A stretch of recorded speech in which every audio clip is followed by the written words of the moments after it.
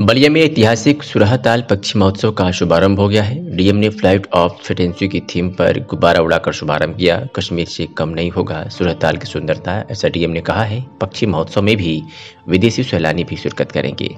सुरहताल में सैलानी पक्षियों का मौसमी जमावड़ा रहता है। शुकपुरा के बसंतपुर गाँव में पक्षी महोत्सव होगा। डीएम सौम्या अग्रवाल ने क्या कुछ कहा है? देखिए इस रिपोर्ट में।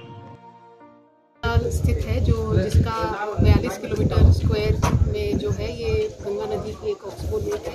और बहुत ही रमणीक स्थल है। यहाँ पर विंटर्स में जो है, बाहर से साइबेरियन पक्षी, विभिन्न प्रकार के पक्षी आते हैं।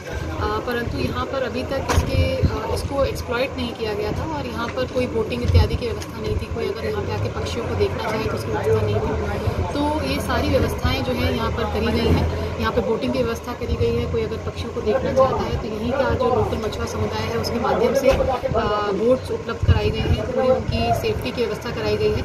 और 10 तारीख से लेकर के 12 तारीख तक सुरहा ताल बर्ड फेस्टिवल जो है यहाँ पे ऑर्गेनाइज किया जा रहा है, जिसमें विभिन्न स्कूली बच्चों के सांस्कृतिक कार्यक्रम प्रतियोगिताएँ यहाँ पे वाइल्ड लाइफ फोटोग्राफी कंपटीशन यहाँ पर प्रकृति को कैसे संजोया जाए उसकी वर्कशॉप ये सब विभिन्न प्रकार के कार्यक्रम जो है यहाँ पे कराए जा रहे हैं जिससे कि बलिया के लोग सुरहा ताल को पहचाने और सुरहा ताल से जुड़े। मैम एक मैम बहुत?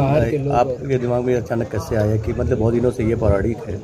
और अचानक ये एक जो डेवलपमेंट दिखाई दे रहा है आपके थ्रू जो भी होने वाला है। ये कैसे आपके दिमाग में अचानक की ये बातें आई? ये सुरहा हम लोग यहाँ पर जब यूनिवर्सिटी आए थे तो देखने आए थे। और तब देखकर ही ये लग गया कि यहाँ पे बहुत पोटेंशियल है और इसको जो है किया जाना चाहिए और जी की प्रेरणा से हम सब लोग बाहर के लोग कौन कौन से आने वाले हैं जो अभी यहाँ पे संभावना